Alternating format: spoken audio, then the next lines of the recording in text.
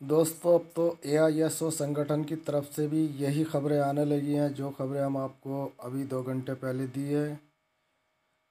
इन्होंने हमें सभी को सूचित किया है, जितने भी पल्स निवेशक, पीड़ित निवेशक हैं, उन सभी पाँच करोड़ पिचासी लाख के आसपास ये निवेशकों के लिए इन्होंने एक ख़ास तरीके से समझाकर ये नोट भेजा है, कहा है कि कृपया यूट्यूब की खबरें फेक होती हैं। इससे आप और हम सभी निवेशक परिवार गुमराह होते हैं।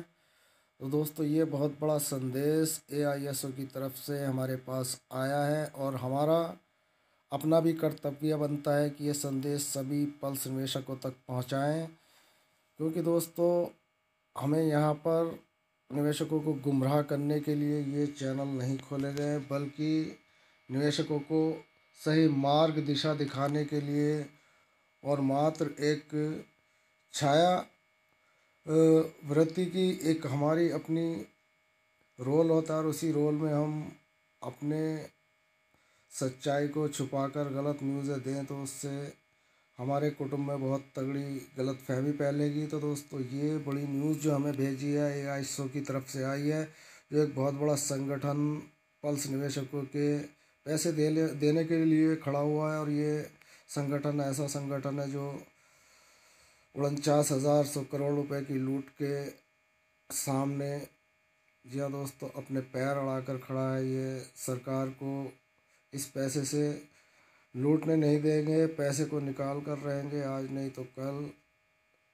हमारी आवाज़ तीन बार सांसद में पहुँच चुकी है और प्रश्नकाल में ये मुद्दा उठ चुका है। तो दोस्तों, हमें अपने पैसे को लेकर एक तरफ़ ये संघर्ष करना पड़ रहा है, दूसरी तरफ़ ये यूट्यूब चैनल वाले गलत फेक न्यूज़ देकर हम लोगों में गुमराह करते हैं कि पचास हज़ार वालों का या एक लाख वालों का पेमेंट चालू हो गया, देख लो ये और वो।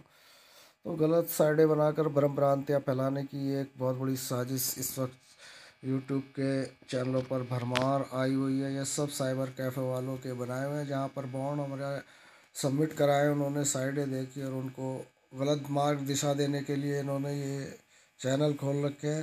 तो दोस्तों, ये आज एक बहुत बड़े वायरस की तरह निवेशकों में फैलाया जा रहा है दोस्तों। इससे बचें, इसके लिए सावधान किया गया है और हमारी तरफ़ से भी यही सावधानियाँ हैं कि दोस्तों, ऐसी न्यूज़ों से बचें जो आपको गलत मार्ग दिशा दिखा रही हैं दोस्तों।